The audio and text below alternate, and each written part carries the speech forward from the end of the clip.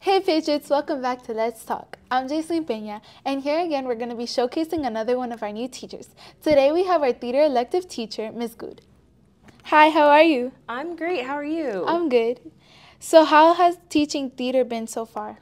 Uh, so far, it's been really amazing. Uh, I love working with uh, the kids at this school. I love working with my coworkers. It's been a great school year so far. Everyone's been really nice. I'm glad you're enjoying it. How long have you been teaching theater? Um, well, I've been teaching in general for about five years. I started um, as an ESE teacher in 2020.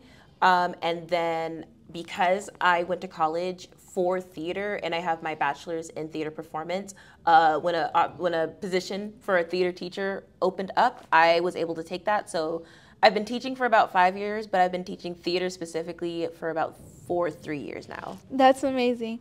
What do you like about teaching theater?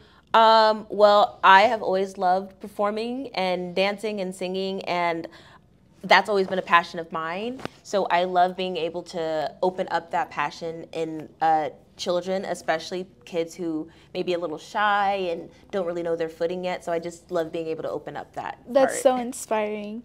What inspired you to start teaching theater? Um, well, like I said, when I was younger, I always loved performing.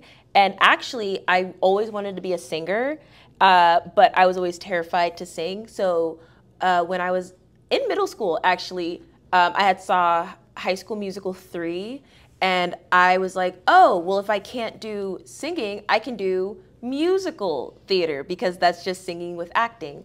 And um, I started taking acting classes to make me comfortable uh, acting on stage, and then that passion turned from me being just a drama kid to going to college and doing it, and I've just always loved performing ever since I was a little kid. That's amazing. Have you done any shows in the past? I have. Uh, so when I was in college, I did a few shows in college. I did uh, Cat on a Hot Tin Roof.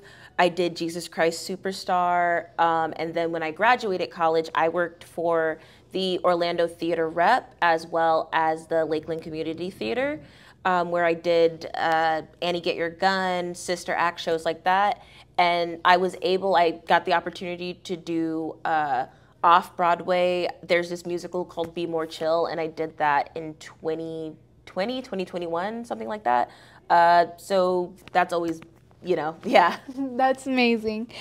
Do you have any other hobbies you do on your free time? Um, I love music. I play guitar, bass, trumpet, a little bit of piano, and I love reading. I'm a big reader.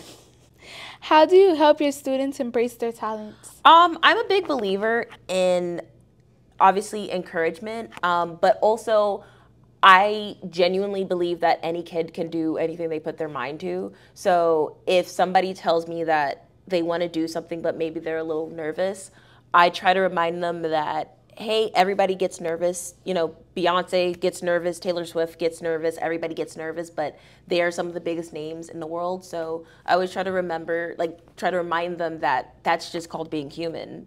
It's great how you help students embrace their talents. Thank you. Lightning round questions LA or New York? New York. Robots or drones? Uh, robots. Jump rope or hula hoop? Jump rope. Watching plays or doing them? Um, ooh, doing a play. well, Patriots, that's it for Let's Talk. If you see Miss Gude in the hallway, make sure to say hi. Until next time.